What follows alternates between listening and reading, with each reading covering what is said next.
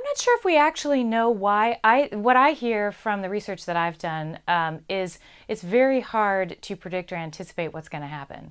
Obviously, the volatility is um, pretty great, and with presidential and other political um, differences happening, it's very hard to hire. And it's hard to anticipate what capital needs you would need if you are a business.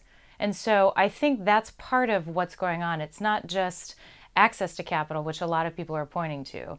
Um, can you start a business by getting a first loan? That that can be difficult. It's not maybe as hard as some people are making it out to be, but the question that continues to be coming forward to the people with the people I speak with is really how do you anticipate because you don't want to hire people if you don't know uh, what certainties kind of lie ahead.